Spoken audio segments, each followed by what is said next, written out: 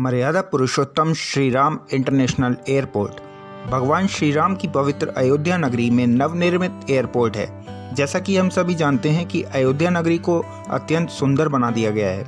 मंदिर निर्माण के साथ साथ अन्य बहुत से अच्छे कार्य हुए हैं, जो अयोध्या नगरी को अत्यंत खूबसूरत और विकसित रूप में परिवर्तित कर रहे हैं।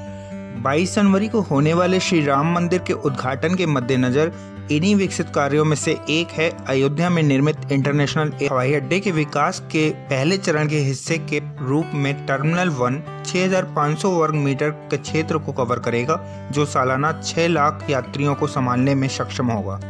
भारत में केरल एक ऐसा राज्य है जहाँ सबसे अधिक चार इंटरनेशनल एयरपोर्ट ऑपरेशनल हैं। उत्तर प्रदेश में लखनऊ वाराणसी कुशीनगर अभी तक ये तीन इंटरनेशनल एयरपोर्ट ऑपरेशनल हैं। अयोध्या इंटरनेशनल एयरपोर्ट का शुभारंभ आगामी 25 दिसंबर को निश्चित हुआ है। 30 दिसंबर 2023 को दिल्ली से एक इनाग्रल फ़्लाइट अयोध्या एयरपोर्ट पहुंचेगी। जल्द ही नोएडा के पास जेवर में एक अंतर्राष्ट्रीय हवाई अड्डा भी निर्माणाधीन है, जो भारत का सबसे बड़ा एयरपोर्ट भी होगा। और जेवर इंटरनेशनल एयरपोर्ट के ऑपरेशनल होने के बाद उत्तर प्रदेश भारत का सबसे ज़्यादा पाँच इंटरनेशनल एयरपोर्ट वाला राज्य बन जाएगा। यही नहीं, उत्तर प्रदेश भारत के सबसे अधिक एयरपोर्ट्स वाला राज्य भी होगा।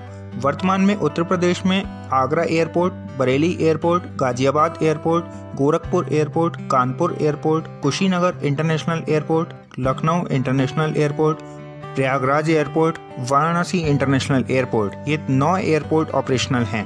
अयोध्या इंटरनेशनल एयरपोर्ट के शुभारंभ के बाद यह संख्या दस हो जाएगी। और मुरादाबाद एयरपोर्ट, अलीगढ़ एयरपोर्ट और नोएडा इंटरनेशनल एयरपोर्ट भी जल्द ही प्रदेश में अपनी सेवाएँ देंगे और उत्तर प्रदेश देश का सबसे अधिक एयरपोर्ट वाला राज्य बन जाएगा। राज्य की संस्कृति और विरासत को चित्रित करने के लिए डिज़ाइन किया गया मर्यादा पुरुषोत्तम श्री राम इंटरनेशनल एयरपोर्ट, अयोध्या जनपद के फैजाबाद में लखनऊ गोरखपुर नेशनल हाईवे 27 और फैजाबाद प्रयागराज नेशनल हाईवे की क्रॉसिंग के पास नाका में स्थित है।